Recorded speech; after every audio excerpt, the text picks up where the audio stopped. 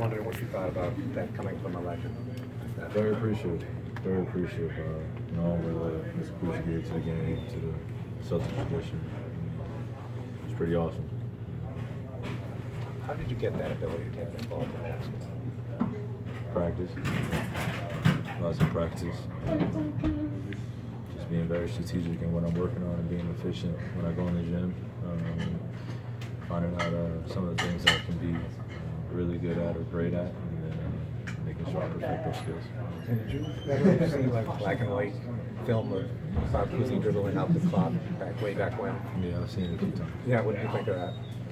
It's part of history. Uh, you know, just always uh, showing respect and paying homage to those who come before. A lot of their talents, uh, you know, during their generations were something that uh, you know, people had never seen before. And that's what made them legends. They did it consistently over and over again. Um, you know, legends, uh, they live forever. So a compliment like that. Uh, pretty awesome. Kyrie, coming out of this All-Star break, what changes have you seen with this Boston Celtics team in this stretch of play? Uh, sort of focus level, getting everybody back. Um, knowing what you're trying to get ready for. I know heading in, you said that it was on you, being one of the leaders of this team, to kind of talk to the guys. Did you have a team meeting with them at all?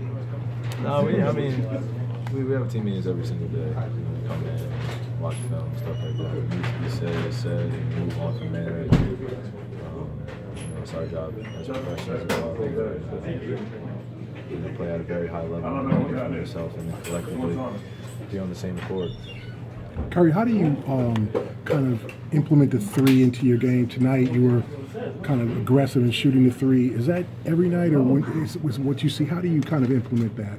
Uh, shooting with confidence, understanding uh, where my spots are going to come from. Uh, excuse, me, excuse me, the spots I'm going to be at, where uh, my shots will be coming from, um, and just shooting them.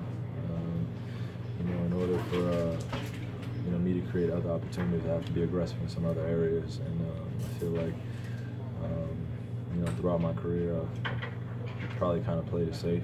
You know, coming off of some pick and roll, shooting threes, and um, you know, within our offense and within our system, I'm able to come off some pin downs and, and have the ability to, to be in position to shoot. And I just got to knock them down. Um, you know, when I do that, uh, you know, defenses will be at a much higher awareness and it'll create other opportunities for my teammates. So, um, you know, I just played both. Um, just making, trying to make the uh, right read every single play.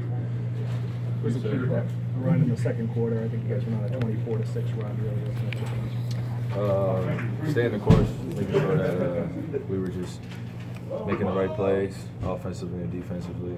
Um, you know, they were they were playing pretty aggressively, so we wanted to use that against them a little bit um, and just play our game.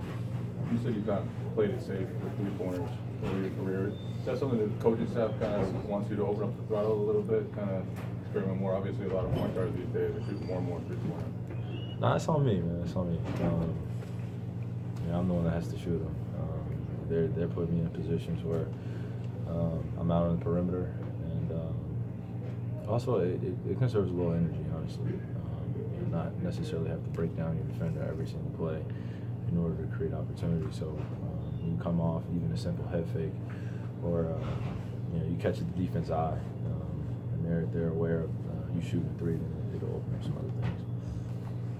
Harry, can you sense uh, a little rejuvenation around the team post All-Star break?